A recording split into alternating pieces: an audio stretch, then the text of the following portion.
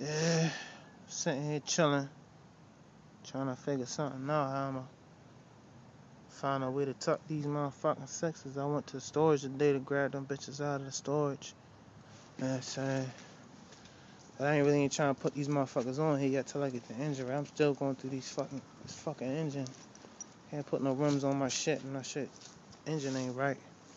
But uh, you know I'm gonna get the engine right. You know me, you seen my videos, you know I'm gonna get that motherfucker right on my box.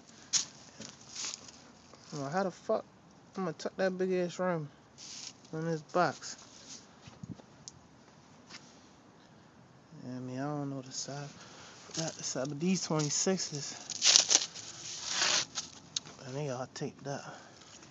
But they the 26s right there. I don't know how to. I don't know what tire size. I think I got the wrong tire size. I think I, I was planning on lifting that first, but I don't know the tie size to get to tuck these bitches. I mean, that's what I really want to do. Uh, there they go right there. These sixes right there. Mm, how the fuck I'm gonna get that rim tucked up underneath of there? I don't, I don't know. Maybe they pull this bitch down. I'm gonna tuck them bitches underneath of there. I don't know. It might work. I, mean, I need to just pull it, pull the rims off and try. I ain't got the time for that shit today. But uh, there they go right there. They the sixes. Anybody can let me know what size they, if they got sixes on their shit, what size tire they got.